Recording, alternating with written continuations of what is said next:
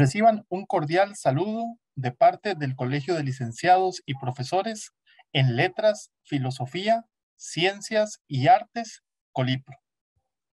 Para la Junta Directiva y la Dirección Ejecutiva, es un placer contar con su participación el día de hoy. Desde el Departamento de Desarrollo Profesional y Humano de Colipro, se generan diversas actividades y proyectos orientados a la investigación, acción formativa y divulgación de materiales y recursos para el desarrollo tanto profesional como humano de las personas colegiadas. Hoy estaremos abordando la temática referente a cómo fomentar el pensamiento crítico, estrategias para personas docentes. Por parte del Colipro les acompañamos Bernal Alvarado en la parte técnica y Marcelo Prieto Murillo quien les saluda. Además, contamos con la participación de Magali Fernández, quien estará ayudándonos con la interpretación en Lesco. La dinámica por desarrollar en este webinario se divide en dos partes. En la primera, tendremos un espacio de exposición por parte de la persona especialista invitada. Mientras se da la exposición, ustedes pueden ir planteando sus preguntas por escrito, utilizando para ello el botón de preguntas y respuestas que pueden ubicar en la parte inferior de sus pantallas al centro. Entonces, recuerden únicamente utilizar este botón si desean plantear sus preguntas a la persona especialista. El equipo de Colipro estará recibiendo sus consultas y las agruparán. En la segunda parte, se plantearán esas preguntas a la persona especialista invitada para que nos comparta su criterio. Les invitamos a plantear sus preguntas, repito, a través del botón de preguntas y respuestas. Esto nos permite a todos y todas sacar un mayor provecho de la actividad, enriqueciéndonos de las preguntas que todos y todas vamos realizando. Se responderán tantas preguntas como nos lo permita el tiempo programado. Este webinario permite la conexión de personas colegiadas desde diferentes regiones del país, a quienes agradecemos desde ya su participación. Esta es precisamente una de las grandes ventajas de la implementación de esta herramienta virtual, logrando así una mayor cobertura a nivel nacional. Para el desarrollo de la temática del día de hoy está con nosotros Leonardo González Gali, quien es doctor en ciencias biológicas y profesor de enseñanza media y superior en biología por la Universidad de Buenos Aires. Actualmente se desempeña como investigador adjunto del Consejo Nacional de Investigaciones Científicas y Técnicas, CONICET, y como profesor regular en el profesorado de biología de la Facultad de Ciencias Exactas y Naturales de la Universidad de Buenos Aires. Codirige, junto con la doctora Elsa Meinardi, el grupo de didáctica de la biología y dirige el grupo de didáctica de la biología evolutiva, genética y ecología del Instituto de Investigaciones CEFIEC. Su actual línea de investigación se centra en la modelización, obstáculos epistemológicos, metacognición y pensamiento crítico en relación a la biología evolutiva, genética y ecología, temas sobre los que ha publicado numerosos artículos en revistas especializadas y capítulos de libros. Ha dictado conferencias y cursos de formación docente. También se desempeña como divulgador científico en temas de evolución, comportamiento animal y ambiente y como ilustrador especializado en la naturaleza. Para Colipro es un placer contar con eh, don Leonardo el día de hoy, con un ponente internacional de este calibre. Sin más, lo dejamos con don Leonardo. Adelante, bienvenido. Muchas gracias, Marcelo. Buenas noches, tardes eh, a todos, a todas. En primer lugar, quiero agradecer la invitación al Colipro y en particular este, a Marcelo Prieto Murillo por la, por la invitación, como decía. Eh, siempre es un gusto eh, compartir estos espacios de intercambio.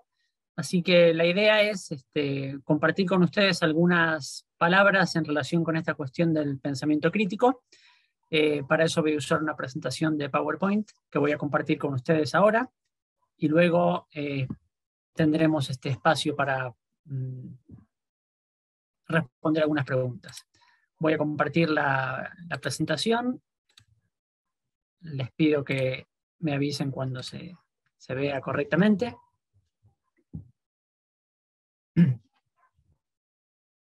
Perfectamente. Ok, gracias. Bueno, em, Bien, como decía Marcelo en la presentación, la idea es este, discutir un poco la cuestión de cómo fomentar el pensamiento crítico. Y voy a empezar este, diciendo que la mirada particular que voy a compartir con ustedes tiene que ver con mi, especialidad, que es la didáctica de la biología, eh, y tiene que ver con una propuesta que está en desarrollo, que está incompleta, por supuesto, este, y es una propuesta que estamos elaborando eh, con los y las colegas dentro del grupo de didáctica de la biología del Instituto de Investigaciones EFIEC de la Universidad de Buenos Aires. Em, como digo, estoy hablando desde el lugar del investigador en didáctica en biología y del profesor de biología, eh, pero espero que quienes estén del otro lado escuchando y pertenezcan a otras áreas puedan este, em, por ahí rescatar algunas ideas para transponerlas eventualmente a sus respectivas este, áreas de especialización. Em, cuando me invitó para dar esta charla, Marcelo me decía que estaba interesado en, que podamos este, compartir estrategias concretas para el trabajo en las aulas y demás. Y yo le decía un poco que, es difícil este, abordar estas cuestiones directamente desde las estrategias del aula sin antes compartir un marco teórico. Porque desde la didáctica de las ciencias a, lo que aspiramos es a que las acciones que los y las docentes llevamos a cabo en el aula estén no determinadas, eso no tendría sentido, pero sí orientadas o informadas por la, teoría que se produce en el ámbito de la investigación. Entonces, voy a, inevitablemente voy a empezar compartiendo con ustedes lo que sería un, marco teórico para pensar esta cuestión del pensamiento crítico.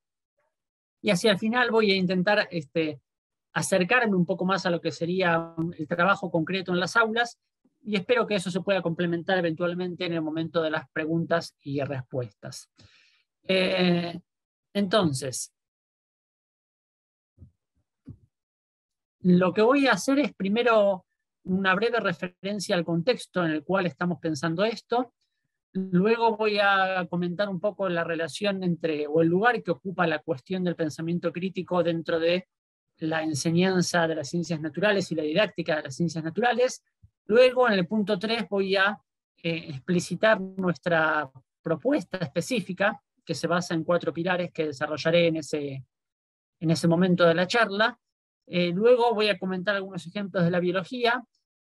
Luego voy a mencionar, me refiero al punto 5, algunos disensos o tensiones que puede haber entre distintas miradas que se tienen acerca de nuestra sociedad, de la educación y de la enseñanza de las ciencias. Y finalmente voy a comentar este, lo que serían algunas pistas para el trabajo en el aula. Este, yo le comentaba también a Marcelo que, sería ideal para poder este, avanzar en la, en la construcción de, estrategias concretas de trabajo en el aula, eh, un formato tipo curso o algo por el estilo, porque en realidad los únicos que pueden definir las estrategias concretas para enseñar son los y las docentes que están en sus respectivos contextos. Porque, como ustedes sabrán, en ciencias de la educación no hay este, recetas infalibles que puedan transponerse a cualquier contexto. Finalmente cerraré con algunas reflexiones finales y con una síntesis. Empezando por la primera cuestión, todos sabemos que vivimos en una sociedad globalizada que está marcada por algunas particularidades, especialmente por una serie de desigualdades socioeconómicas que parecen acentuarse en las últimas décadas y que generan inevitablemente conflictos sociales, eh, también por el hecho de que eh, nuestras vidas están cada vez más atravesadas o transcurren cada vez más mediante eh, entornos virtuales como, como este en el que nos estamos comunicando. Eh, también estamos en un contexto en el cual la información sobreabunda, pero escasea la capacidad de las, de las personas para poder decodificar esa información y utilizarla de acuerdo con sus fines. Y finalmente estamos en un contexto en el cual la ciencia y la tecnología, o las tecnociencias, como dicen algunos autores, impactan cada vez más en nuestras vidas. Em, muchos de los conflictos que nos atraviesan tienen que ver con cuestiones ambientales.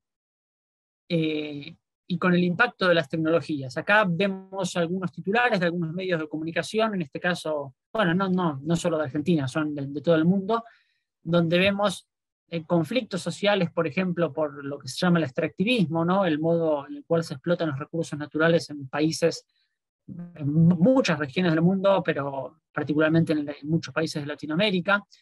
Em, debates en torno al uso de, las, de la biotecnología, debates en torno al efecto que las redes sociales y que los medios virtuales y que las, nuevas tecnologías tienen en el desarrollo de los niños y las niñas. Eh, y por supuesto, el contexto de la pandemia de COVID-19 no ha hecho más que agravar todas estas cuestiones y ha generado también, ha puesto sobre la mesa algunos, algunos problemas y algunos debates que vinieron a recordarnos la importancia de eh, eso que llamamos el pensamiento crítico. Ahí, por ejemplo, Ustedes ven un titular de una revista de divulgación científica en la cual se hace referencia al movimiento antivacunas. Supongo que todos y todas saben de qué estamos hablando. Y es un caso interesante para pensar porque, em, por ejemplo, yo he detectado que incluso entre el profesorado de ciencias eh, he encontrado opiniones un tanto preocupantes en relación con la cuestión de las vacunas. Entonces, vivimos en un mundo complicado, donde sobreabunda la información, donde cada vez parece más difícil para el ciudadano o la ciudadana eh, común eh, lidiar con tanta información y procesarla para eventualmente tomar decisiones informadas.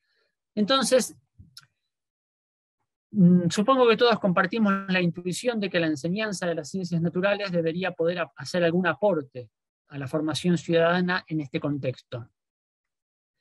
Eh, mm, desde hace muchas décadas venimos preguntándonos qué ciencia enseñar, para qué enseñarla y cómo enseñarla. Preguntas que son distintas pero que se relacionan entre sí. En los intentos de responder para qué enseñar ciencias naturales, es frecuente que se haga referencia a la intención de fomentar el pensamiento crítico. Ahora bien, la expresión pensamiento crítico ha sido utilizada por muchos autores desde muchas posturas teóricas en el marco de muchos proyectos políticos, entonces significa cosas muy distintas.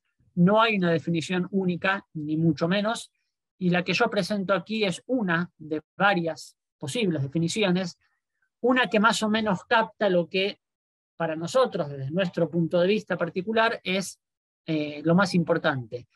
Esta definición que combina elementos tomados de distintos autores, dice que el pensamiento crítico es el pensamiento autorregulado, o sea, gestionado conscientemente por el propio sujeto, con respecto a situaciones problemáticas relevantes que involucran juicios de valor o tomas de decisión sobre qué creer o qué hacer, y que implica los criterios apropiados para deliberaciones, juicios y justificaciones de calidad.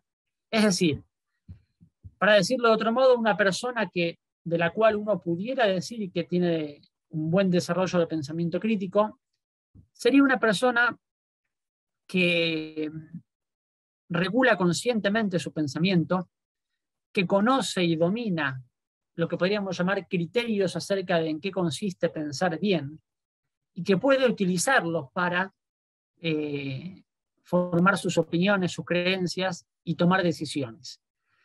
Bien, em, esto no es algo que se tiene o no se tiene. Todas las personas en cierta medida hacemos esto. Me parece que es mejor pensarlo en términos de, bueno, no lo hacemos, y me incluyo, en la medida en que sería deseable y en la medida en que el complicado mundo en el que vivimos nos lo está demandando. Entonces la pregunta es qué podemos hacer para potenciar o fomentar el desarrollo de esta capacidad. ¿no? Bien. Un comentario sobre algo que por ahí para algunos, para algunas es obvio y para otros, para otras no. ¿Es necesaria la ciencia para el desarrollo del pensamiento crítico? Bueno, mi respuesta breve aquí va a ser sí, es necesaria y es imprescindible. Es necesaria pero no suficiente, pero es necesaria. Porque si suponemos que pensar críticamente implica dominar ciertos criterios acerca de razonamientos de calidad, bien argumentados, bien fundamentados, etc., bueno, los modos de, pensar y de argumentar de la ciencia eh, tienen mucho para ofrecer al respecto, ¿no? Entonces, eh, hay dos razones, al menos, por las cuales es, creo yo, imposible pensar en un pensamiento crítico sin lo que podríamos llamar una alfabetización científica.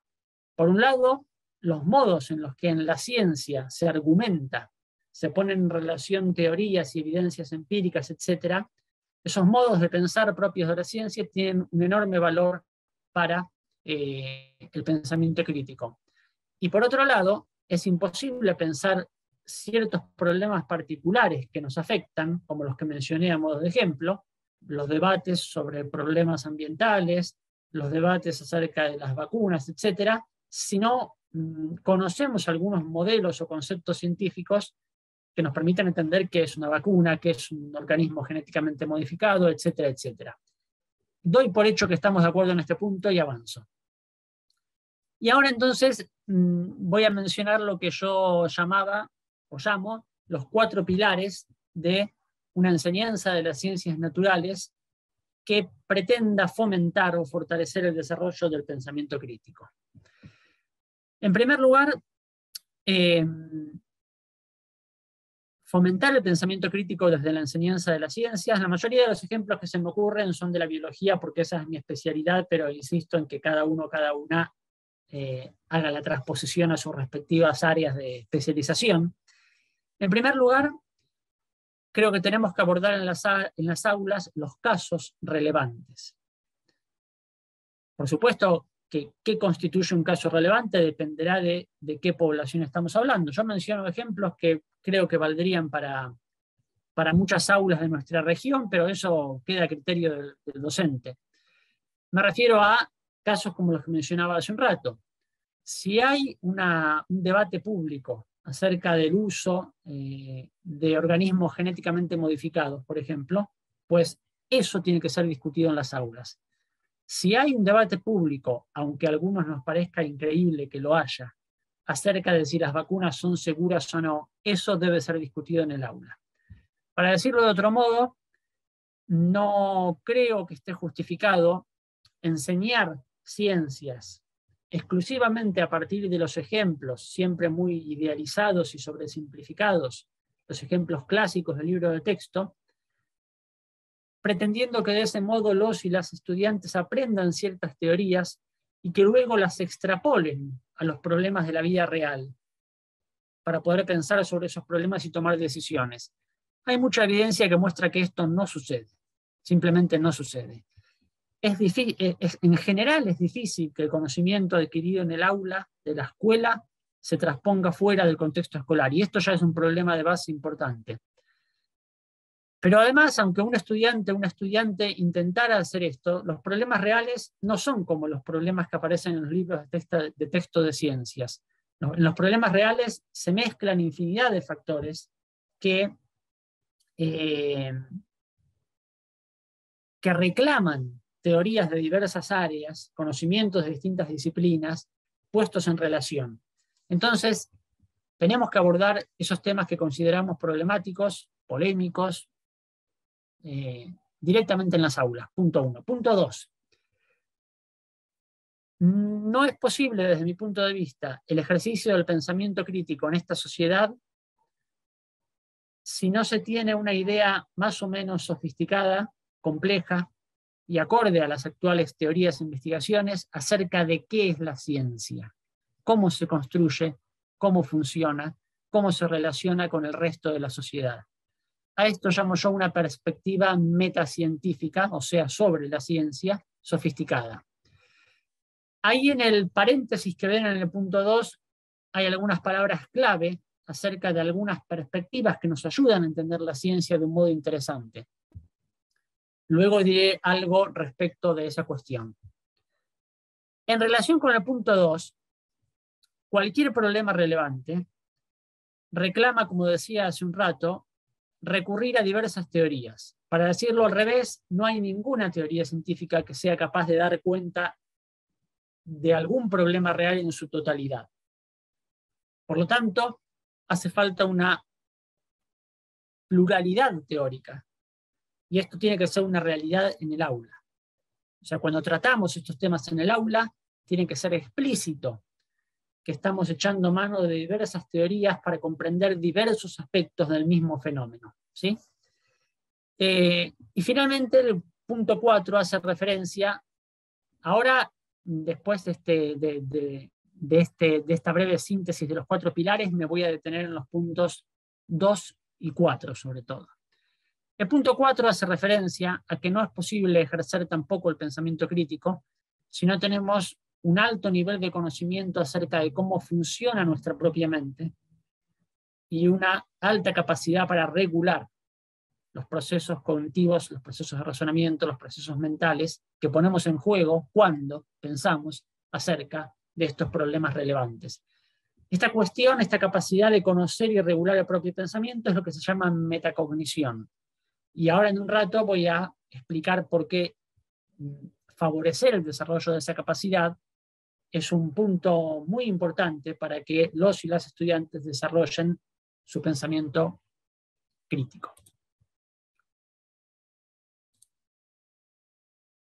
Me detengo entonces un poco en la cuestión eh, e, epistemológica. ¿no? Yo decía recién, si hablamos de fomentar el pensamiento crítico desde la enseñanza de las ciencias, no podemos hacerlo con una mirada ingenua acerca de qué son las ciencias.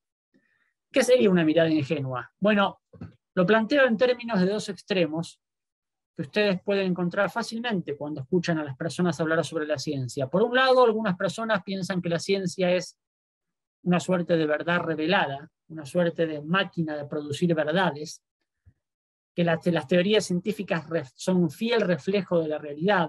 Entonces, que la ciencia es un saber este, que todo lo puede, que todo lo abarca, em, que no tiene ambigüedades, que no tiene zonas grises. Bueno, en fin, podríamos hablar de, en este extremo, de un pensamiento cientificista, positivista, entre comillas, si ustedes quieren, ingenuo. Bueno, no se puede ejercer el pensamiento crítico teniendo esa idea de, de cómo funciona la ciencia. Pero cuando miramos las ideas de sentido común que la gente tiene sobre la ciencia, nos encontramos también con el extremo opuesto. Gente que cree o que sostiene que la ciencia no es más que un relato construido por ciertas personas, em, un relato acerca de la realidad y que hay muchos otros, que todos tienen el mismo valor. Bueno, así como, por ejemplo, la biología evolutiva es un relato sobre los orígenes de las especies incluida la especie humana, bueno, también está lo que dice la religión acerca del, origen del mundo y de, la humanidad. Y son todos relatos eh, eh, equivalentes, equiparables. Eh, esto es lo que se llama el relativismo epistemológico. ¿sí? Bueno, este es un extremo que tampoco me parece deseable, porque nos, lleva a la, peligrosa idea de que, de que todo vale, de que todo da lo mismo, de que todas las ideas eh, merecen el mismo respeto y tienen el mismo valor. Entonces, bueno, cuando surge la discusión de si hay que utilizar o no las vacunas y aparece alguien que sostiene la descabellada idea de que las vacunas producen autismo, bueno, se supone desde este punto de vista relativista que uno no puede o no debe imponerle otra versión de los hechos, porque cada uno tiene su forma de pensar y hay que respetarlo. Bueno, esto es tan peligroso como lo anterior. Nos hace falta una mirada más sofisticada sobre la ciencia que nos va a alejar de ambos polos. La ciencia o las teorías científicas no son un fiel reflejo de la realidad, pero tampoco son un discurso arbitrario construido por ciertas personas al servicio de ciertos poderes que no tiene nada que ver con la realidad. Es algo que está en el medio. La llamada perspectiva modelo teórica o semanticista en filosofía de la ciencia, lo que dice es que las teorías, lo, principal de las teorías científicas son sus modelos. Y los modelos científicos son abstracciones, son este, formas de, de, ver el mundo que para entenderlas podemos analogarlas con los mapas. Las teorías científicas son como mapas. Si uno se pregunta qué relación hay entre un mapa y el territorio que representa, está claro que un mapa no es un fiel reflejo del territorio que representa. Hay infinidad de aspectos del territorio representado que no son captados por el mapa. inevitablemente el mapa es limitado, es parcial, es sesgado. Ahora, tampoco sería correcto decir que no hay ninguna relación relevante entre el mapa y el territorio representado. Tener o no tener un buen mapa puede ser la diferencia entre llegar a buen puerto o no llegar y morir en el camino. Eh, la relación entre un mapa y un territorio representado es una relación de semejanza. ¿no? ¿Qué quiere decir esto? Que el mapa se parece en ciertos aspectos y en cierto grado al territorio representado. Bueno, lo mismo vale para una teoría científica. Mi especialidad es la teoría de la evolución. La teoría de la evolución actual refleja fielmente cómo y por qué y, la historia del cambio de las especies a través del tiempo? No, por supuesto que no. Refleja solo algunos aspectos.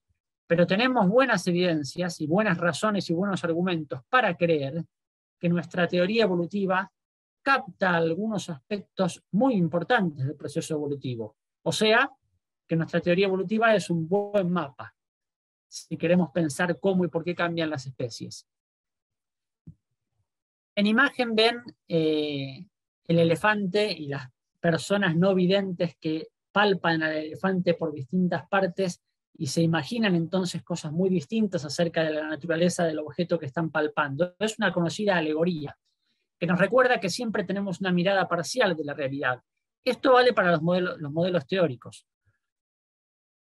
Cada modelo teórico solo capta ciertos aspectos del fenómeno estudiado. Por lo tanto, ningún modelo teórico per se, ninguna teoría per se, capta la totalidad de un fenómeno real.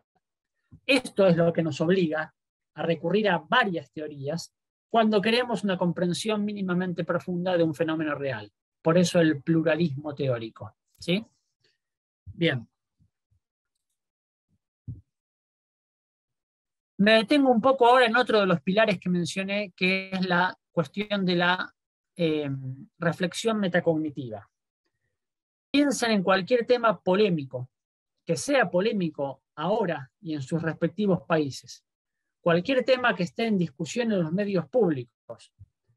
Algunos de esos temas, justamente por la globalización que mencionaba al principio, seguramente están presentes en cualquier país del mundo. En este momento, por ejemplo, la guerra de Ucrania. ¿Por qué hay guerra? quiénes son responsables, quiénes ganan, quiénes pierden, etcétera, etcétera. Eh, bueno, cuando hablamos de la importancia de la, de la, reflexión metacognitiva, lo que estamos diciendo es que, por ejemplo, por ejemplo, si pretendiéramos, si quisiéramos que alguien ejerciera el pensamiento crítico en relación con la guerra de Ucrania, bueno, no es posible ejercer el pensamiento crítico si yo como individuo no tengo un alto nivel de conciencia acerca de qué prejuicios, por ejemplo, están sesgando mi interpretación de este fenómeno. ¿Qué ideas preconcebidas tengo acerca de esta guerra? ¿Por qué tengo esas ideas y no otras? ¿Cómo me estoy informando? ¿Por qué vías me llega la información? ¿Qué fuentes de información son confiables y cuáles no? En definitiva, tengo que ser capaz de preguntarme qué creo sobre este asunto y por qué creo lo que creo.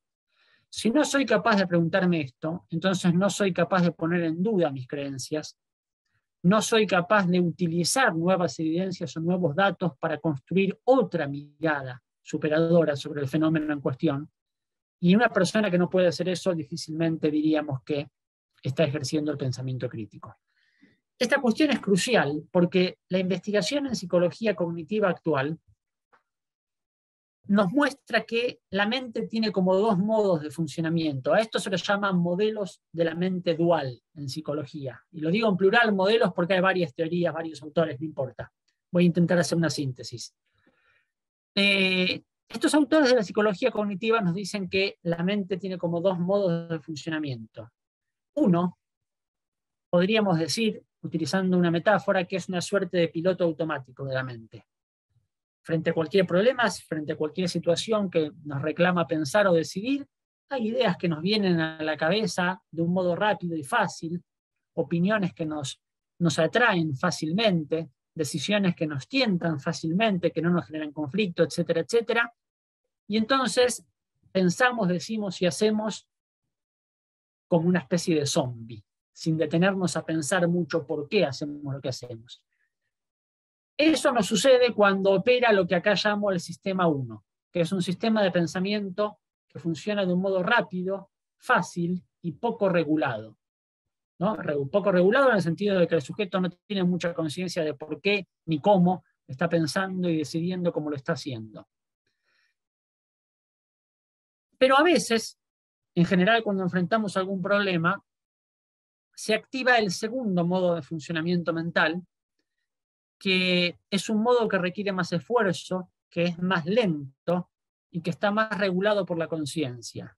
Es cuando nos sucede, cuando sentimos esa sensación de tener que detenernos y decir un momento, a ver, ¿por qué voy a hacer esto y no lo otro?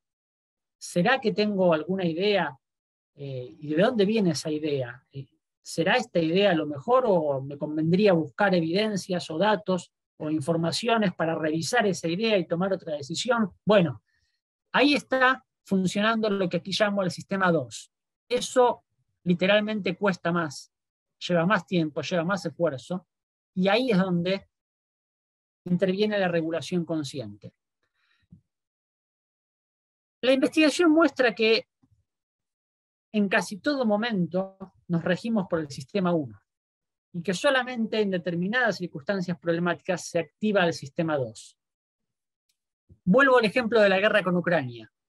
Si ustedes en una reunión social o en un ámbito como este lanzaran la pregunta de, de por, ponerlo en términos así muy simplistas, eh, de parte de quién están, de Rusia o de Ucrania, bueno, lo más probable es que la mayoría de las personas tengan una respuesta rápida y, es probable incluso que estén muy convencidos y convencidas de que, de que por ahí va la verdad y la respuesta.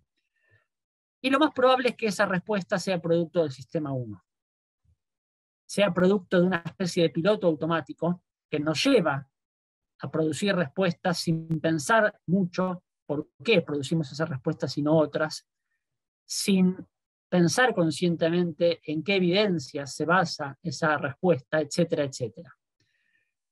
La investigación muestra que en casi toda circunstancia el sistema 1 prevalece sobre el sistema 2. ¿Qué quiere decir esto?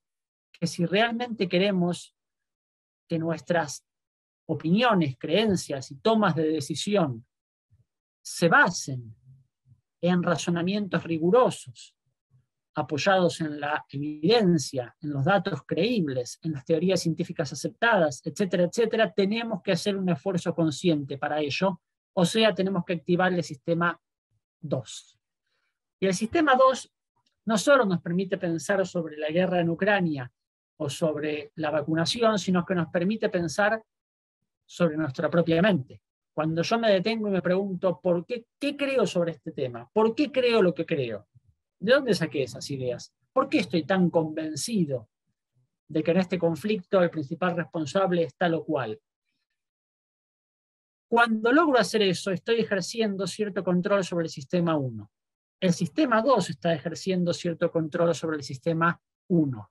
Y ahí estamos hablando de metacognición. ¿sí? Metacognición. Bueno, no sé si con los ejemplos que di quedó claro que eh, difícilmente uno diría que alguien ejerce el pensamiento crítico si no es capaz de hacer esto. Sin embargo, no es fácil hacer esto. No, tenemos una tendencia natural, espontánea, a hacer esto. Y hacer esto bien implica ciertos conocimientos, por ejemplo, acerca de lo que se llaman sesgos cognitivos, que son modos de pensar que, no regulamos, de los cuales no somos conscientes, pero que sesgan y restringen mucho nuestros razonamientos. Les muestro un chiste acá, una, viñeta humorística, ¿no? en la cual una chica le dice a su padre, papá, pero esa es una noticia falsa. Y el padre le responde, ¿cómo va a ser falsa si dice justo lo que yo pienso? Este chiste eh, ilustra a la perfección lo que se llama el sesgo de confirmación. Hay mucha investigación que muestra que las personas, todas las personas, yo incluido, por supuesto, tendemos a atender más a aceptar más, a detectar más, a retener y recordar más, en fin, a tener en cuenta más aquellas informaciones y aquellos datos que confirman nuestros prejuicios. Para decirlo al revés, las personas tendemos a desestimar, sin tener conciencia siquiera de que lo estamos haciendo, a desestimar todos aquellos datos o evidencias que ponen en tela de juicio lo que ya creemos. Esto se llama sesgo de confirmación. La investigación en psicología cognitiva ha detectado decenas de sesgos cognitivos de este estilo. Entonces vuelvo a la pregunta, ¿cómo puedo decir que yo pienso críticamente acerca de, por ejemplo, insisto, el conflicto en Ucrania, si no soy consciente de que mi mente tiene, por decirlo así, ciertos vicios, como el que acabo de mencionar, el llamado sesgo de confirmación? ¿Cómo puedo pensar críticamente si no soy consciente de cómo funciona mi mente?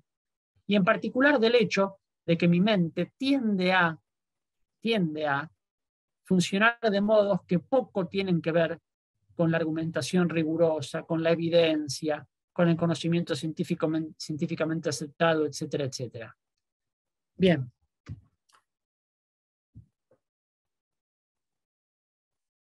El pensamiento crítico, caracterizado tal como lo caractericé, es una capacidad que cuando uno la desarrolla la puede aplicar a cualquier ámbito de la vida o a cualquier dominio del conocimiento.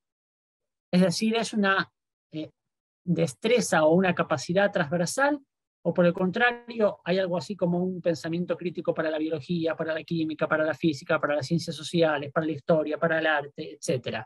Bueno, probablemente la respuesta sea un poco y un poco. Por ejemplo, la toma de conciencia acerca de sesgos cognitivos, como el que acabo de mencionar, es algo muy transversal. Fíjense que esta tendencia de la mente a filtrar y retener solo la información que corrobora los prejuicios va a afectar mi razonamiento tanto si estoy hablando de la guerra en Ucrania como si estoy hablando de la conveniencia o no de la, de la vacunación. Es muy general. Pero luego hay cuestiones que son específicas de ciertos dominios. ¿no? Yo no puedo pensar críticamente acerca de la vacunación si no sé lo que es un antígeno, si no sé lo que es eh, un linfocito. Entonces hay aspectos más generales, más transversales y hay aspectos más específicos de cada área de conocimiento. Sigo con ejemplos de la biología. ¿Sí? Fenómenos que conocemos bien. La evolución de la resistencia a las plaguicidas, la evolución de la resistencia a los antibióticos en las bacterias. La pandemia de COVID-19, su origen, el porqué de la aparición de nuevas variantes, la conveniencia o no de vacunarse. todos estos son temas relevantes desde el punto de vista sociocultural que no podemos comprender si no hemos aprendido ciertos modelos de la biología. Fíjense que a veces se dice, bueno, el objetivo de la clase de ciencias no es tanto enseñar ciertas teorías científicas, sino enseñarle a los chicos y las chicas a pensar. Bueno, no existe ese enseñar a pensar, que además es bastante insultante para los, los y las estudiantes, ¿no? Como si no supieran pensar, si no pasan por la clase de biología. La gente sabe pensar. En la clase de biología, en todo caso, tenemos que ofrecerles ciertos modelos científicos de la biología que son necesarios para pensar sobre ciertos temas, pero también tenemos y podemos enseñarles a pensar, por ejemplo, sobre el funcionamiento de sus propias mentes para favorecer la metacognición. ¿no? Ahí muestro algunos titulares que otra vez ilustran cómo en los medios masivos de comunicación aparecen temáticas problemáticas que tienen que ver con contenidos específicos. Y en particular la biología tiene que ver con temas mucho más polémicos que los que mencioné hasta ahora. Por ejemplo, cuando nos preguntamos acerca del el origen de las diferencias entre individuos. ¿Por qué hay personas más altas, más bajas, más delgadas, menos delgadas, más rubias, más morochas, más inteligentes, menos inteligentes, etcétera, etcétera? Se explican esas diferencias por factores biológicos, por factores ambientales, por una combinación de ambos factores. Bueno, más polémico se pone el asunto cuando trasladamos este tipo de preguntas a niveles poblacionales. ¿Existen o no existen razas humanas? ¿Qué relación hay entre la idea de raza y el racismo? Bueno, son temas polémicos, complejos, conflictivos, sobre los cuales no hay modo de pensar críticamente si uno no domina ciertos contenidos científicos, en este caso de la biología, básicos. Pero tampoco puedo pensar críticamente, por ejemplo, sobre la cuestión de la raza y el racismo, si no tengo una mirada metacientífica, si no entiendo cómo funciona la ciencia, cómo, leer críticamente lo que dicen los y las científicas sobre este tema si yo no entiendo más o menos bien en qué consiste la ciencia. Y tampoco puedo pensar críticamente sobre eso si no soy consciente de los prejuicios y los sesgos que limitan y restringen mi propia formación de creencias sobre ese tema, o sea, si no soy capaz de pensar metacognitivamente. Bien, voy hacia uno de los últimos puntos. Eh, estoy hablando de cómo fomentar el pensamiento crítico desde las clases de ciencias y estoy insistiendo en que uno de los componentes de ese pensamiento crítico es un sólido conocimiento de ciencia, o sea, un conocimiento de las teorías científicas y sobre la ciencia, o sea, conocimiento acerca de qué es y cómo funciona la ciencia. Sin embargo, mm, algunos y algunas colegas, eh, cuando hablan de fomentar el pensamiento crítico, adoptan algunas filosofías o algunas corrientes de pensamiento autodenominadas críticas en general, que muchas veces, muchas veces tienen connotaciones más bien anticientíficas. Y muchas veces terminan en lo que ya he mencionado, que es lo que se llama el relativismo epistemológico. Muchas personas creen, por ejemplo, que ser crítico consiste en relativizar todo. Bueno, yo no me creo del todo nada. Bueno, los científicos dicen que las vacunas no causan autismo, pero hay otras personas que dicen otra cosa y todos los puntos de vista son respetables. Entonces, este, no puedo descartar un punto de vista en favor del otro porque eso es autoritario. El relativismo. Bueno, a mí me preocupa que este modo de ver las cosas eh, sea tan frecuente entre educadores y entre educadoras, porque a mí me parece altamente peligroso. Eh, si todo es relativo, entonces no hay modo de discutir nada. Entonces, bueno, que cada cual se quede con sus ideas y que, este, y que sea con suerte. Eh, por el contrario, aún sabiendo que la ciencia tiene límites y tiene sesgos, porque es parte de la sociedad, es una actividad humana, por lo tanto es limitada, es imperfecta, está sometida a sesgos introducidos por, eh, los, los, sectores poderosos de la sociedad, aún con una plena conciencia de todas esas limitaciones, si no entendemos que la ciencia es el modo más potente que tenemos para intentar comprender los hechos del mundo, las cuestiones fácticas, si no nos ponemos de acuerdo en eso, entonces estamos en problemas. Entonces, eh, no acepto el cientificismo ingenuo, que cree que la ciencia es la verdad revelada, pero tampoco acepto el relativismo. Entonces, lo que necesitamos es una comprensión crítica de qué es y cómo funciona la ciencia, que admite que la ciencia no puede explicarlo todo y que no está libre de todas las limitaciones de lo humano, pero al mismo tiempo también reconoce que la ciencia constituye probablemente el modo más potente para comprender la realidad física que nuestra especie ha producido. Bueno, este es un tema para debatir. Voy a intentar cerrar con eh, un intento de relacionar esto con el trabajo en el aula. En esta diapositiva lo que vemos es una propuesta de una didacta española, Neus San Martí, que muestra lo que son distintos momentos en lo que podemos llamar una unidad didáctica, o sea, un conjunto de clases destinados a enseñar cierto tema o a, tratar cierto tema.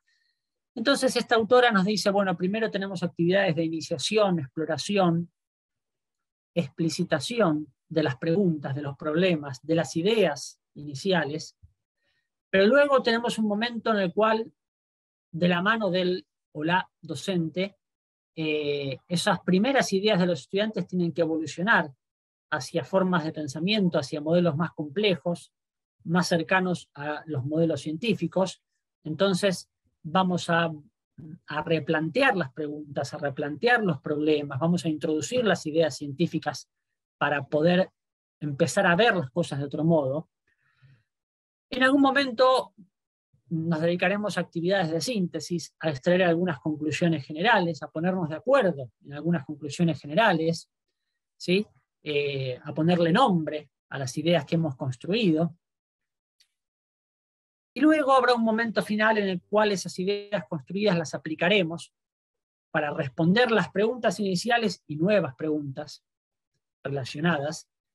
Veremos si estas ideas que hemos construido las podemos generalizar, extrapolar para abordar otras cuestiones. En fin, estos serían como cuatro grandes momentos en una unidad didáctica. Esto vale para cualquier eh, planificación escolar que busque abordar cualquier tema. Pensemos cómo hacer esto para fomentar el pensamiento crítico en relación con un tema particular. Y tomo un tema que es muy polémico en Argentina, que es el desarrollo y uso de cultivos transgénicos, o sea, cultivos de organismos genéticamente modificados. Ahí les muestro un titular de este año que muestra cómo este conflicto está presente todo el tiempo. Entonces, ¿se acuerdan los cuatro pilares que proponíamos para el pensamiento crítico? Abordaje directo de casos relevantes. ¿Por qué el caso de los cultivos transgénicos, al menos en Argentina, ustedes me dirán qué pasa en sus países, sería un caso relevante? Bueno, porque es un tema que tiene un gran eh, impacto económico y ambiental en nuestra sociedad, porque es un tema que está muy presente en la arena mediática, porque es un tema que genera fuertes discusiones y polémicas, y es un tema que, por implicar fuertes intereses económicos, es un tema que está muy enturbiado por mucha desinformación, fake news, mala información, mentiras deliberadas. Esa desinformación a veces es intencional y a veces es no intencional, pero en ambos bandos en el debate se escuchan cosas que son evidentemente falsas para cualquiera que esté informado y eso, da cuenta de la enorme desinformación que hay. Y comprender este asunto de los organismos transgénicos requiere, reclama saberes científicos de varias disciplinas. Entonces, en el momento inicial de la planificación didáctica, deberíamos indagar qué creen los estudiantes sobre este tema. Bueno, hay toda una serie de estrategias para indagar este, las ideas. Eh, conviene hacerlo de modos diversos e indirectos. Por ejemplo, le podemos plantear a los estudiantes, eh, si te ofrecieran dos platos de comida que son iguales, excepto por el hecho de que uno está constituido por productos de origen transgénico y otro no, ¿cuál preferirías y por qué? Es un modo indirecto de, de hacer que él o la estudiante explicite sus ideas sobre el tema. Hacemos salir estas ideas, las registramos por escrito, las sistematizamos, nos ponemos de acuerdo en que más o menos esto es lo que creemos, nos ponemos de acuerdo, por ejemplo, a partir del trabajo de, con noticias periodísticas, nos ponemos de acuerdo acerca de cuál es el debate, cuáles son las posturas, cuáles son nuestras creencias aquí en el aula sobre este tema. Pero luego tenemos que introducir modelos teóricos y evidencias. ¿Qué nos dicen los modelos de la biología, por ejemplo, sobre la seguridad de la ingesta de alimentos elaborados con organismos transgénicos? ¿Qué nos dicen los modelos y las evidencias de la biología sobre los riesgos ambientales que implica el uso de estos cultivos? ¿Qué nos dicen los modelos y evidencias de las ciencias sociales acerca del impacto, por ejemplo, en las economías regionales de la introducción de estos cultivos. Como verán, es imposible abordar un tema como este desde una sola teoría. Parece imposible, parece inmanejable. Bueno, es difícil, pero no es imposible. Deberíamos elegir dos o tres tópicos centrales y dos o tres teorías centrales. Eh, entonces, con modelos, modelos de la biología celular y molecular nos van a permitir entender qué es un organismo transgénico, pero no nos van a permitir entender si me hace bien o mal comerlo, y mucho menos cómo afecta a los productores locales. La ecología y la biología evolutiva van a permitir entender algunos impactos ambientales, pero tendremos que recurrir a las ciencias sociales para entender qué pasa con los productores locales, por ejemplo. Pero vuelvo a los pilares del pensamiento crítico. No puedo discutir esto con los estudiantes de modo tal de favorecer el pensamiento crítico si no discuto además también con ellos la naturaleza de la ciencia. Además de discutir qué me dice la biología sobre los transgénicos, tengo que discutir explícitamente con los estudiantes el hecho de que cualquier teoría que usemos solo va a poder explicarnos algunos aspectos parciales del fenómeno. Esto es una reflexión metacientífica, o de filosofía de la ciencia, si ustedes quieren. Una cosa es que yo diga, mirá, este modelo de la biología molecular nos permite entender qué es un transgénico. Perfecto. Pero yo puedo creer ingenuamente que ese modelo de la biología molecular me dice todo lo que hay que saber sobre el transgénico. Bueno, no, ahí es donde hay que saltar a la reflexión metacientífica. Ojo, ojo. Este modelo me da cuenta de algunos aspectos del organismo transgénico, no de todos los organismos transgénicos. Por eso cuando construimos un transgénico y lo liberamos en el campo, no podemos creer que podemos predecir todos los impactos que va a tener, porque ninguna de las teorías que usamos para producirlo o para comprenderlo capta todos los aspectos del organismo transgénico. Hace falta la mirada sociocrítica. ¿Quiénes participan de este debate? ¿Quién financia las investigaciones? ¿Sí? Sobre qué asuntos hay consenso en la comunidad científica y sobre qué asuntos no hay claridad y hay posturas diversas. Por ejemplo, por ejemplo, hay consenso científico en relación con que no hace mal comer productos de origen transgénico. En cambio, no hay consenso científico acerca de los impactos que estos cultivos pueden tener en el ambiente. Ahí hay posturas encontradas incluso dentro del ámbito científico. Esto los estudiantes, las estudiantes tienen que comprenderlo. Tienen que comprenderlo, tienen que comprender la importancia del consenso científico. Bien. Entonces tenemos que movernos en un, en un este, terreno medio, evitando el cientificismo, según el cual la ciencia nos dice toda la verdad, pero evitando también el relativismo y la posverdad asociada. ¿no? Todas las personas merecemos respeto, pero no todas las ideas merecen respeto. La idea de que las vacunas producen autismo no me merece ningún respeto a mí, porque absolutamente todo lo que sabemos, todo lo que sabemos, desde las ciencias biomédicas, refutan esa idea. Entonces hay que perderle el respeto a las ideas. Tenemos que separar a las personas de las ideas. Esto también es importante para ejercer el pensamiento crítico y esto hay que explicitarlo con los estudiantes. Cuando discutimos si los organismos, si los cultivos transgénicos son seguros o no. No estamos discutiendo acerca de si vos, él o ella es inteligente, es tonto, es bueno, es malo. Estamos discutiendo ideas. Es importante que yo, vos, él, ella, podamos comprender esto. Podamos preguntarnos la parte metacognitiva. Podemos preguntarnos, ¿por qué tenemos las posturas que tenemos sobre estos temas? ¿En qué nos basamos? ¿De dónde vienen estas creencias que tenemos? ¿Cuáles son sus orígenes? ¿Será que estamos considerando todos los datos y las evidencias relevantes para tomar esta postura? ¿O será, por ejemplo, que ya tomamos postura porque pertenecemos a un grupo social en el cual eso es lo que está bien visto? Por ejemplo, si yo pertenezco a un grupo ecologista, por ejemplo, es muy probable que esté mm, esté, mi postura esté sesgada en contra del uso de la biotecnología.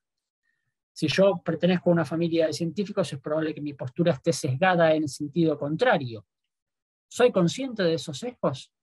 Bueno, tenemos que ser conscientes. Y esto hay que hacerlo en el aula con preguntas de este estilo. En el momento inicial de la secuencia didáctica, sacamos al alumno lo que creíamos sobre el tema. Bueno, pensemos por qué creemos lo que creemos. Después de haber visto ciertas teorías científicas, ¿qué pasa con eso que creíamos? Donde hay conflicto, donde lo que creíamos choca con lo que la teoría científica nos dice, ¿qué hacemos? ¿Vamos a cambiar de idea? Sí, no, ¿por qué? Todo esto es reflexión metacognitiva. Y acá el docente puede y debe introducir ideas como la que mencioné hace un rato sobre el sesgo de confirmación. Saben, chicos y chicas, que hay investigaciones que muestran que todos, ustedes, yo, todos, tendemos a ignorar la información que contradice nuestros prejuicios. ¿Sabían eso? Es bueno saberlo, porque cuando lo sé puedo estar mucho más atento o atenta a qué ideas tengo acerca de cierto tema. Reflexión metacognitiva. Para cerrar, la comprensión de este mundo complejo requiere el pensamiento crítico. El aprendizaje de las ciencias naturales en general y de la biología en particular es una condición necesaria pero no suficiente para ese pensamiento crítico. No puedo pensar críticamente hoy en día si no tengo ciertos conocimientos científicos. Para fomentar esto desde las aulas hay que atender al menos a cuatro cuestiones. Hay que abordar los casos relevantes, hay que fomentar la reflexión compleja acerca de qué es la ciencia y cómo funciona. Hay que adoptar una perspectiva teórica plural, explicitando y tomando conciencia de que ninguna teoría per se puede dar cuenta cabalmente de un fenómeno real. Y hay que fomentar la reflexión metacognitiva, el conocimiento y, y el control consciente acerca de cómo pensamos.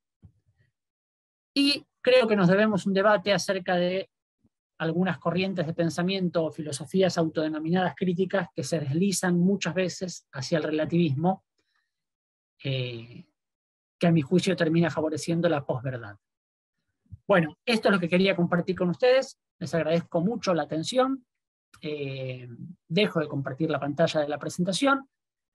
Al principio de la, presentación, y vuelvo a la primera diapositiva, está mi correo electrónico, eh, que queda a disposición de todos y todas para quienes quieran consultarme sobre bibliografía para profundizar o para lo que fuere. Ahí está mi correo electrónico. Y quedo ahora a disposición este, de los y las organizadoras del evento para, para las preguntas este, que podamos responder. Gracias. Muchas gracias, eh, Leonardo, por esta eh, amplia exposición y, creo que bastante enriquecedora para, para todas las personas que estamos participando. Eh, nos, nos dicen cómo, en, en, términos de educación, pues el uso de tecnologías digitales quizás ha ido ayudando un poco en algunos casos, en otros tal vez perjudica, ¿verdad? El desarrollo de ese pensamiento crítico permite estudios de casos, conocimiento de diferentes opiniones. Este, ¿cómo, eh, ¿Cómo considera usted que, que, las tecnologías han ido ayudando o perjudicando a este desarrollo? Bueno, eh, yo creo que en este momento de la historia no está claro cuál es el efecto neto que las tecnologías digitales eh, están teniendo sobre nuestro pensamiento en general y sobre el pensamiento crítico en particular. Eh, no es difícil identificar efectos positivos y negativos. Por ejemplo, está claro que hoy en día, gracias a las tecnologías digitales, la información está eh, fácilmente disponible para todo el mundo. Esto no era así antes de Internet, por decirlo de algún modo. Eso, sin duda, es un, factor positivo, pero también está clarísimo, y hay investigación que lo muestra, que, por ejemplo, que las redes sociales facilitan la difusión de eh, información falsa y que tienen otros efectos negativos sobre el pensamiento crítico, como por ejemplo polarizar las discusiones en exceso. ¿Sí? Existe lo que se llama el pensamiento tribal, ¿no? que es la tendencia que tiene uno a adoptar, las, las a adoptar acríticamente las creencias del grupo social de pertenencia, ¿no? la tribu, que sea cual fuere nosotros los científicos, nosotros los varones, nosotros las mujeres, nosotros los heterosexuales, nosotros los de clase media, nosotros, etcétera, sea cual sea, sea cual fuere la tribu. Bueno, entonces la respuesta es que no lo sé. Eh, hay efectos positivos, hay efectos negativos y creo que no estamos en condiciones de, de decir si el efecto neto es positivo o negativo. A mí, intuitivamente, me resulta difícil evitar cierto pesimismo. es muy impresionante el modo en el cual los medios digitales este, facilitan la, confusión y la difusión de mala información y lo que acabo de decir, la polarización exacerbada de las posturas. ¿sí? Eh, el, tono que los debates eh, adquieren en las redes sociales hace que todo el mundo se atrinchere en su postura y se, extremen las posiciones. Y eso no ayuda al pensamiento crítico. Eh, entonces, la respuesta es que como esto es, históricamente reciente, no está muy claro, que hay efectos positivos y que hay efectos negativos y que solo las investigaciones en los próximos años nos permitirán eventualmente decir si, si el efecto neto es más bien positivo o negativo. Pero sí es importante que los y las docentes sepamos cuáles son los efectos positivos y negativos de las redes para ayudar a nuestros estudiantes a poder lidiar con eso. Por ejemplo, esto que acabo de decir.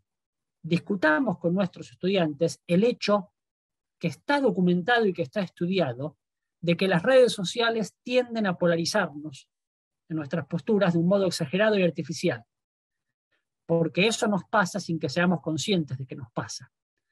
Entonces, eso sí podemos hacer como docentes, ayudar a los y las estudiantes a tomar conciencia de el efecto que las redes sociales tienen en, la, en el debate, en la discusión y en el pensamiento. Muchas gracias. Nos preguntan también, eh, dentro del proceso educativo, ¿verdad? la evaluación a veces, eh, a veces se avanza mucho teóricamente en que se está siguiendo un modelo, pero la evaluación como que se queda rezagada en una evaluación como más tradicional y más de exámenes y más memorística, ¿verdad? Eh, ¿cómo, ¿Cómo se puede trabajar la evaluación si uno quiere desarrollar pensamiento crítico? O sea, ¿cómo, cómo, cómo, cómo evaluar un pensamiento crítico? Bueno, esa pregunta es interesante porque eh, si yo dijera que soy un profesor de biología que fomenta el pensamiento crítico y luego eh, mis estudiantes, eh, la aprobación de mi curso depende de que mis estudiantes puedan o no memorizar ciertas definiciones en, una, en un examen escrito, eso es autocontradictorio. Eso es la negación del pensamiento crítico para enseñar de modo tal de favorecer el pensamiento crítico hay que, hay que eh, abordar la evaluación de un, modo, este, de un modo que no es el tradicional. En primer lugar, tenemos que entender que no es lo mismo evaluar que calificar. No sé cómo será en los países a los cuales pertenecen cada uno, cada una de ustedes, pero en Argentina, en el sistema formal, siempre hay que terminar poniéndole una nota numérica o, no numérica, pero hay que ponerle una nota a alguien para que apruebe un curso. Eso es un requisito del sistema, pero eso tiene poco y nada que ver con la evaluación bien entendida. La evaluación debería entenderse como un proceso conjunto que hace el docente y los estudiantes para monitorear el proceso de aprendizaje. Esa es la evaluación bien entendida. Y esto implica, por ejemplo, ponerse de acuerdo con los estudiantes. ¿Cuáles son los objetivos de aprendizaje? y hacer cosas durante todo el proceso, no solo al final. ¿no? Una vez que avanzaron las clases sobre un tema, nos detenemos y nos preguntamos, a ver, ¿dónde estábamos parados hace tres clases? ¿Dónde estamos ahora? ¿Vamos bien o vamos mal de acuerdo con los objetivos que teníamos? Y luego nos ponemos de acuerdo con los estudiantes acerca de cómo eso se va a traducir en una nota que el sistema nos reclama. Lo importante es que los criterios de evaluación sean explícitos. Los estudiantes tienen que saber cómo y por qué se les va a poner la nota que se les va a poner. Y los estudiantes tienen que saber que la evaluación no consiste en poner una nota. Poner una nota es un requisito formal del sistema. La evaluación consiste en estar todo el tiempo vigilando ¿sí? conscientemente el proceso para saber si vamos bien, si vamos mal, qué tenemos que corregir. Esa es la evaluación bien entendida. Y aparte hay que poner una nota porque hay que calificar porque el sistema lo reclama. Bueno, se trata de explicitar y de acordar estas cuestiones con los estudiantes. Eh, y la evaluación bien entendida, tal como la acabo de, comentar, está muy estrechamente ligada a la metacognición. Ningún estudiante puede aprender si no sabe qué está haciendo, para qué lo está haciendo, qué se espera de él o de ella. ¿Sí? Entonces, este, ¿vieron ese estudiante que le va mal en un examen y dice, yo creí que sabía y me fue mal? Bueno, ahí hay un problema ahí hay un problema. Evidentemente no sabía qué se esperaba de él o de ella, entonces ahí no estaban claros los criterios de evaluación o el estudiante tenía poca conciencia acerca de su conocimiento. Por eso es clave la metacognición, también para la evaluación. Es, eh, Algunos nos dicen, a veces es muy usual eh, o es un riesgo, ¿verdad? Eh, abordar, por ejemplo, casos relevantes en el aula y, que el profesor termine de alguna forma imponiendo su criterio, ¿verdad? Se, escucha a veces a los estudiantes decir, yo pienso otra cosa, pero sé que tengo que contestar esto y esto porque es lo que piensa el profesor y así me va a dar los puntos. O sea, ¿cómo, cómo podemos, aparte de lo de ser muy conscientes de nuestros sesgos, de nuestros prejuicios, o sea, ¿qué, qué otras cosas o de qué forma podemos como personas docentes tener cuidado de abordar casos relevantes sin intentar imponer nuestro criterio, que de una u otra forma siempre creemos que nuestro criterio es el que está bañado de pensamiento crítico y, correcto. ¿Cómo lograrlo con los estudiantes que sea un, un, abordaje correcto? Bien, buena pregunta. Yo creo que es importante, eh, primero, este es un problema real eh, que me, me plantean en esa pregunta, pero no es a mi juicio, no es motivo para no abordar los casos relevantes. Porque si no abordamos los casos relevantes, los y las estudiantes, entonces se van a enfrentar con ese tema en las redes sociales. Y ahí, ahí no van a tener mucha ayuda para el pensamiento crítico. ¿no? Entonces tenemos que, tenemos que meternos en el barro, este, sea como fuere. Bien, eh, cuando un tema es polémico, lo peor que puede hacer un docente, creo yo, es pretender ser neutral. Yo como docente no oculto mi postura sobre cierto tema. Ahora, ahí es donde es importante que él o la docente introduzca algunos conceptos que van a ayudar a los estudiantes a pensar sobre esto. Vuelvo al ejemplo de los transgénicos. ¿eh? Tenemos que distinguir las cuestiones fácticas de las cuestiones de valor, valorativas, por ejemplo. Y dentro de las cuestiones fácticas tenemos que distinguir las cuestiones sobre las cuales hay consenso de las cuestiones sobre las cuales no hay consenso. Vuelvo al tema, al tema de los transgénicos. Yo podría mostrarle a los y las estudiantes que hay evidencias científicas contundentes que muestran que no hay ningún peligro en consumir alimentos fabricados a partir de organismos transgénicos. Esa es una cuestión fáctica, no depende de mis preferencias, mis valores. Esa es una cuestión fáctica. Y es una cuestión fáctica sobre la cual hay consenso. Ahora, ahora, hay otras cuestiones que son de otra índole, por ejemplo, porque implican valores. Por ejemplo, si hay evidencias que muestran que eh, la introducción de cultivos transgénicos aumentó el rendimiento general a nivel país, pero que arruinó económicamente a pequeños productores. Bueno, ahí no hay ninguna teoría que me diga si está bien o está mal usar los cultivos transgénicos a pesar de esos efectos. Ahí depende de cómo valoro yo, desde el punto de vista ético y político e ideológico, esos efectos. Entonces, eh, hay que distinguir estas cosas para no enredarnos en este asunto. Y a, la hora de evaluar, lo peor que yo podría hacer es preguntarle a un estudiante si está a favor o en contra del uso de cultivos transgénicos y, aprobarlo o desaprobarlo en base a eso. Entonces, ¿Qué podría yo este, hacer este, en una evaluación sobre este tema? Mm, si lo que quiero ver es si han aprendido o no los modelos científicos pertinentes. Bueno, por ejemplo, podría decirle, hay personas que creen que si como soja transgénica, mis genes van a cambiar. ¿Qué opinas de esta idea? Esta idea de que al comer algo transgénico se van a alterar mis genes está mal desde el punto de vista de la biología básica no depende de opiniones. ¿Se entiende? Entonces eh, hay que detenerse a pensar, ¿yo qué voy a evaluar? Voy a evaluar si el estudiante es capaz de aplicar los modelos de la biología que enseñé a este fenómeno o voy a evaluar su postura sobre este debate. Bueno, no puedo evaluar su postura sobre este debate. Entonces, ningún estudiante debería reprobar porque no está del mismo bando que el docente en ese debate. Eso es absolutamente inmoral, les diría. Entonces, sintetizando, si yo como docente tengo una postura sobre el debate, no tengo que ocultarla, tengo que explicitarla. Porque pretender ser neutral es una mala enseñanza. Yo tengo mis ideas sobre el tema, las explicito, pero te muestro que otros tienen otras ideas sobre el tema. Y te muestro que hay debate porque hay cosas que o dependen de valores e ideologías, en cuyo caso la ciencia no me va a dar la respuesta, o que hay debate porque hay cuestiones fácticas, pero que no están respondidas todavía por la ciencia. Entonces no sabemos cómo es el asunto. Entonces hay posturas diversas. Esa es la cuestión. Ver esa complejidad, ver esa complejidad de los fenómenos y, y explicitar las posturas.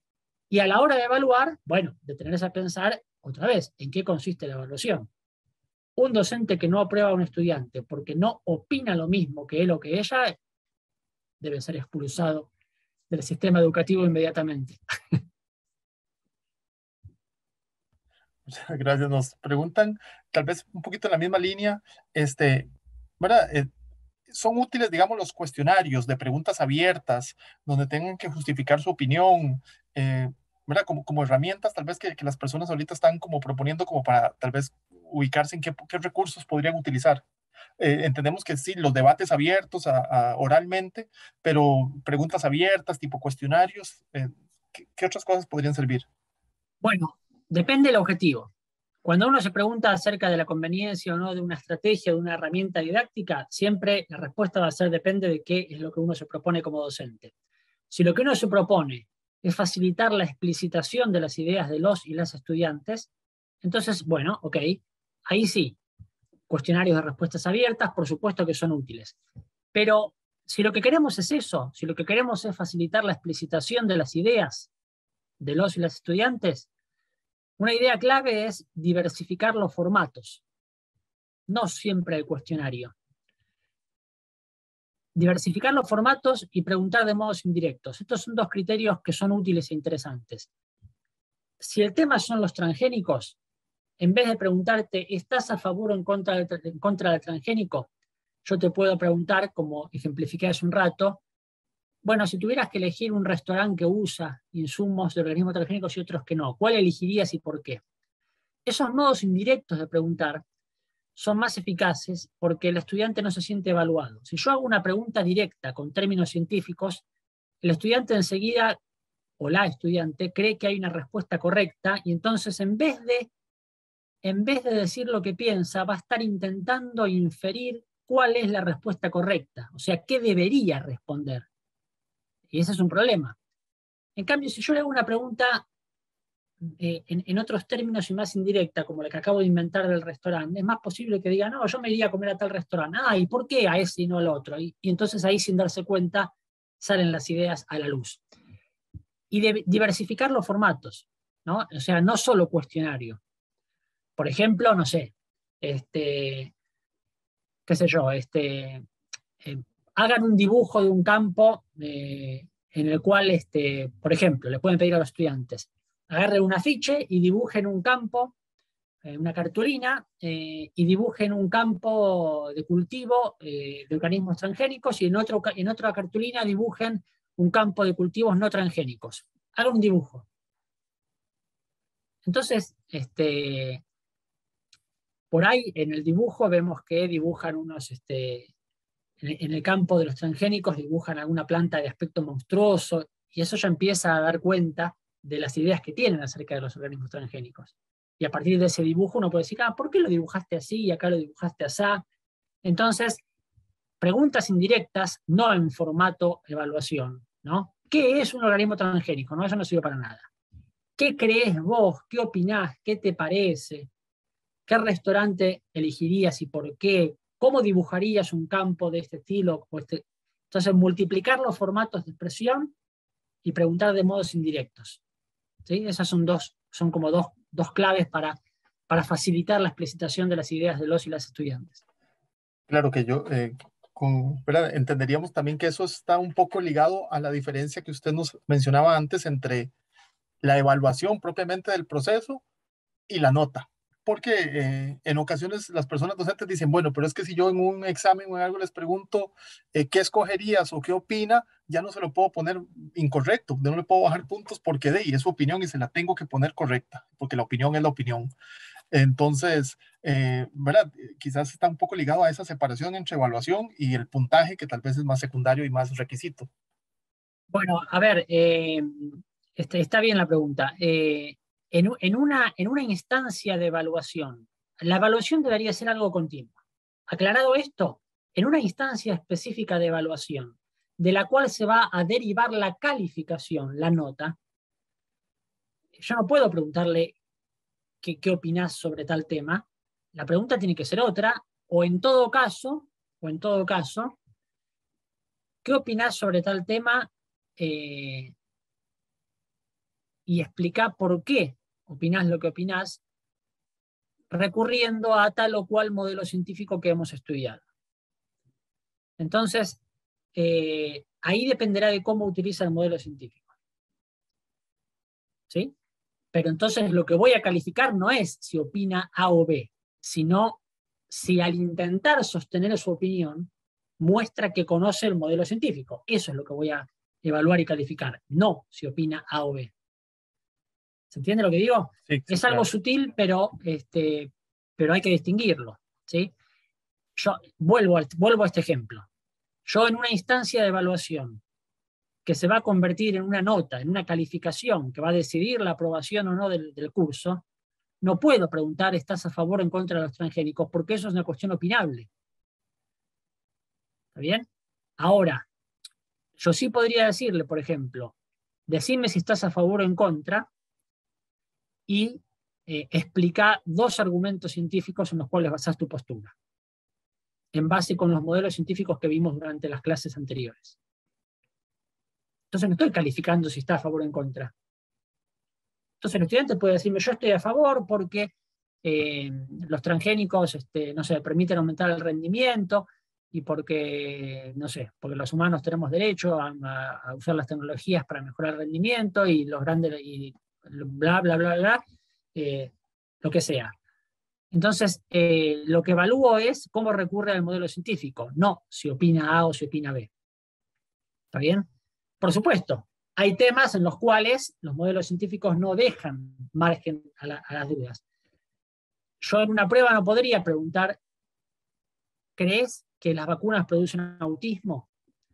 Eso sería tramposo, porque un estudiante que respondiera que sí cree que las vacunas producen autismo, es un estudiante que no ha comprendido el contenido científico del tema, porque sobre ese tema hay consenso.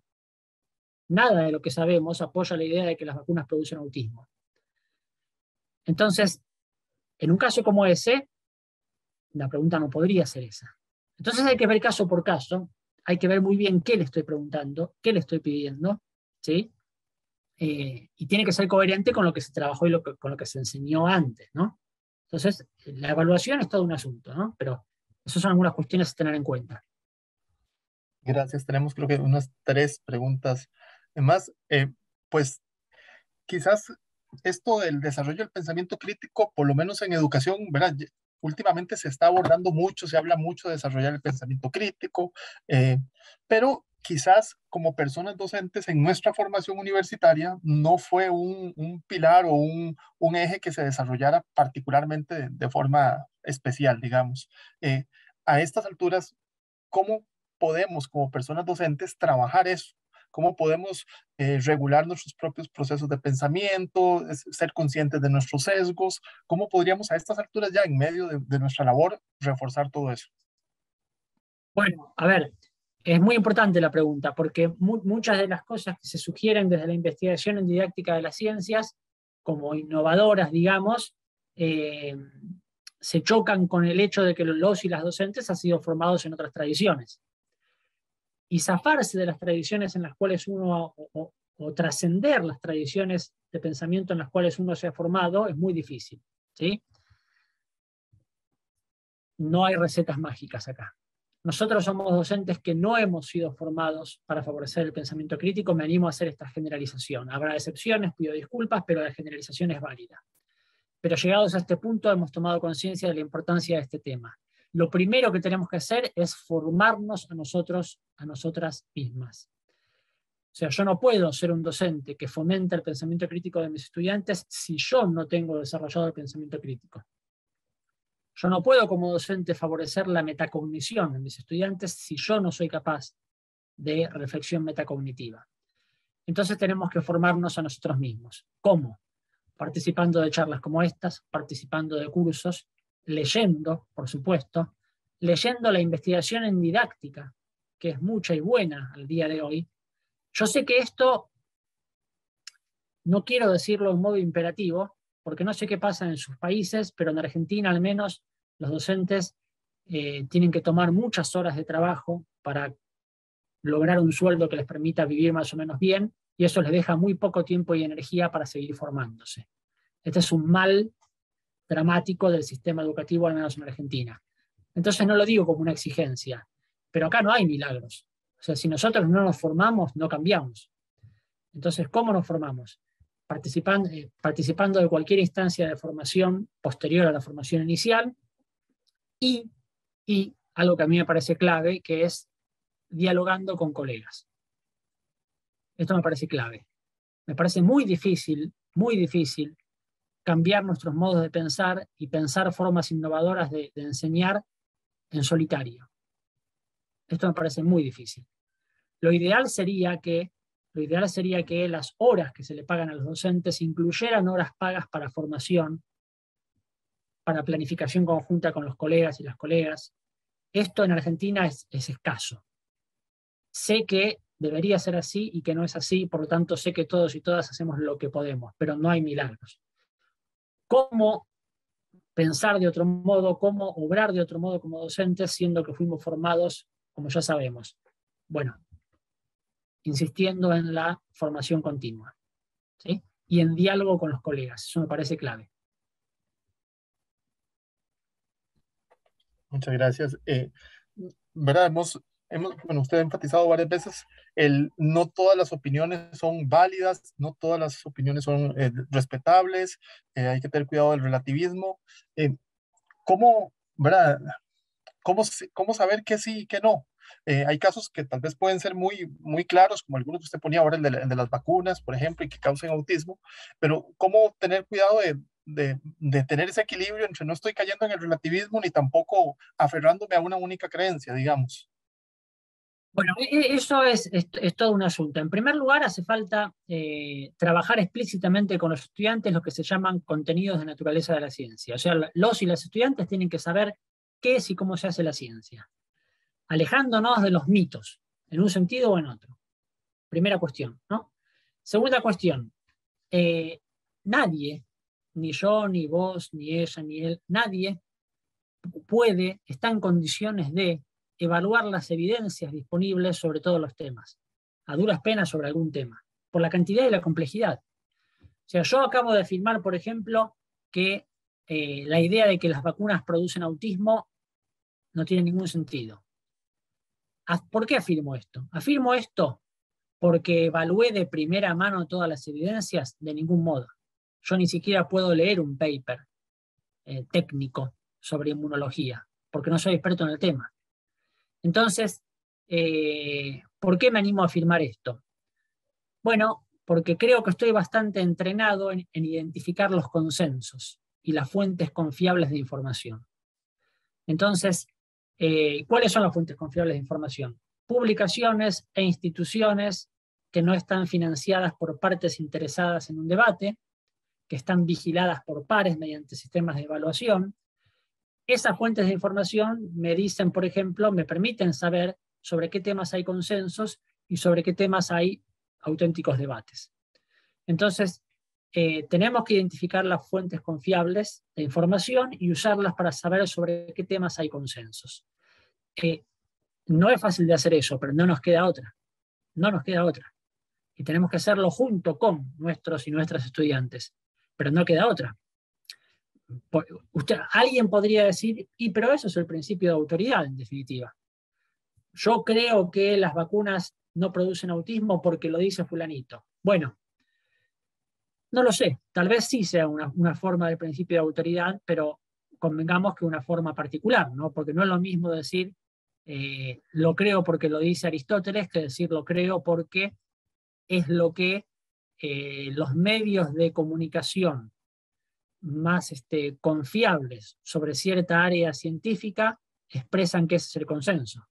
Porque sé que a lo que expresan esos medios subyacen ciertos mecanismos de vigilancia entre pares que no son perfectos, por supuesto que no lo son, pero que son lo mejor que tenemos.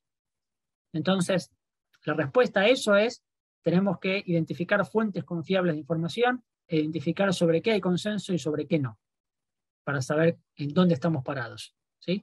Eh, el relativismo no suena bien porque suena democrático, pero es un peligro. Y mucha, yo digo en chiste a veces que muchos amigos relativistas dejaron de serlo con la pandemia. Cuando se, cuando se encontraron con que, bueno, ¿por qué? Eh, ¿Por qué nos... Ustedes saben que hay gente negacionista que, que directamente niega, niega que haya un virus. Bueno, ¿tenemos que respetar ese punto de vista? No, porque todos nos dice que sí hay un virus produciendo una pandemia. Entonces, el relativismo es muy peligroso, es muy peligroso. Ustedes saben, ¿no?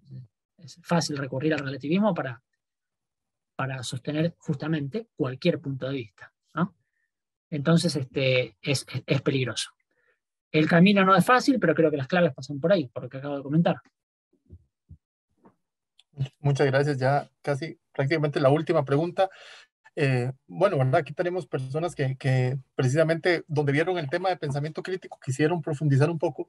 Eh, ¿Cuál sería el, siguiente paso? Usted nos decía, pues, inscribirse en charlas como esta, ¿verdad? Si nos pudiera eh, recomendar, decían algunos, algún libro, digamos, que no sea muy técnico, uno o dos libros que, que, nos dé alguna, alguna idea de por dónde empezar, por lo menos a, a, a saborear un poquito más profundamente este tema. Bueno, Mm, más que libro, creo que si, me pidieran recomendación, les recomendaría un par de artículos eh, y, creo que, eh, claro, como dice alguien en el chat, autores, este, y creo que el modo más efectivo de hacerlo ese sería eh, vía mail, ¿no? Puedo, puedo hacer una selección de artículos y por ahí a través, mm, a través este, tuyo, Marcelo, hacérselo llegar a la gente porque no, no hay que yo sepa un libro que yo me anime a recomendar que esté en castellano, que sea accesible, no. Este, pero artículos sí, incluso, este, perdón la autorreferencia, alguno propio, donde desarrollamos un poco esta propuesta, pero artículos sí, este, podemos hacer una, una, selección de artículos eh, entendibles este, eh, que podría darles pistas para empezar a pensar este asunto. Entonces, Ustedes tienen mi mail y además, si no, no sé, Marcelo, si ustedes han eh, coleccionado los mails de, los participantes, entonces por ahí a través tuyo podríamos hacerle llegar una selección de textos, si no me escriben directamente. Perfecto, igual me pareció que en la, presentación hay algunas referencias también, ¿verdad? En cada, en cada diapositiva.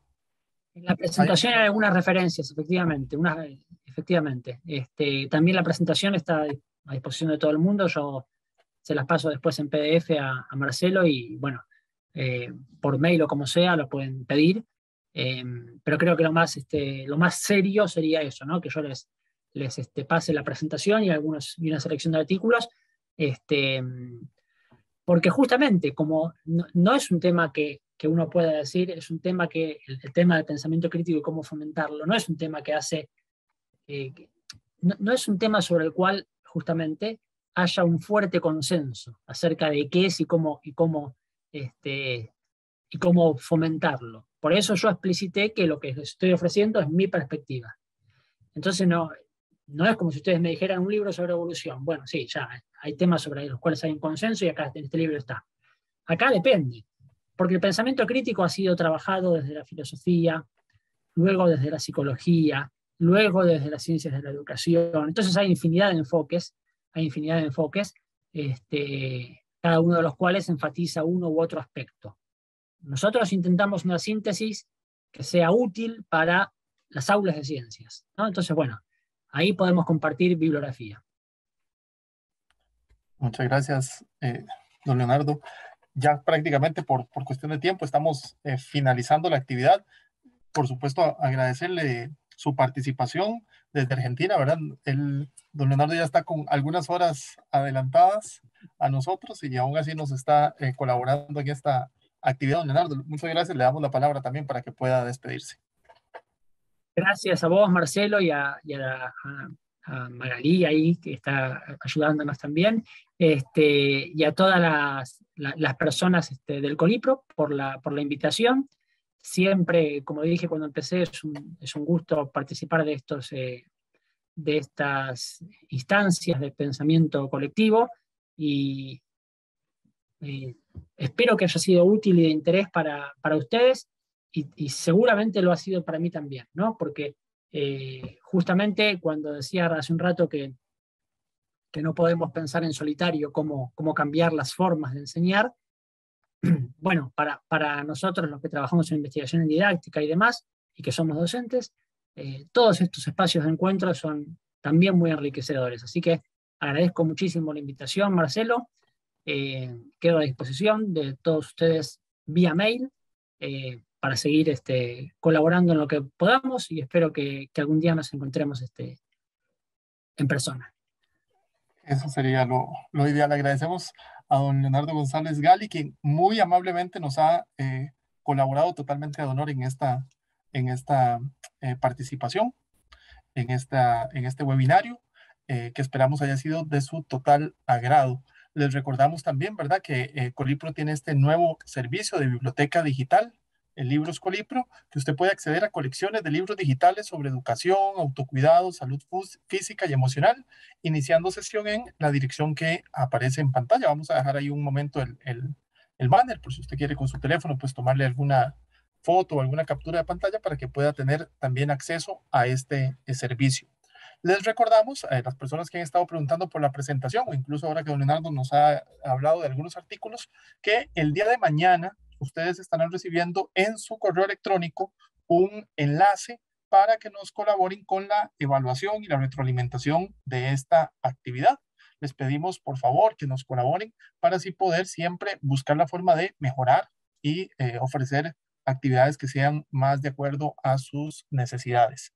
Eh, las personas, el, el, enlace de la evaluación, pues estará enviándose mañana miércoles, estará abierto prácticamente, digamos, hasta el fin de semana y ya el día eh, lunes estaremos recopilando eh, los correos electrónicos de las personas que han completado la evaluación y a estas personas es a las que estaríamos enviándoles la eh, presentación en PDF y, el, cualquier otro material que, que, don Leonardo nos facilite.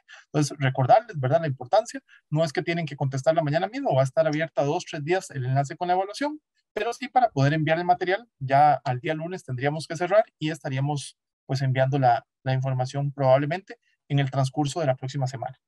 Agradecemos entonces su participación, agradecemos a Magali que nos ha estado también colaborando en la interpretación en Lesco, Berna en la parte técnica y Marcelo Prieto Murillo quien le saluda, que ha estado acompañando también en el webinario. Muchas gracias, don Leonardo, nuevamente.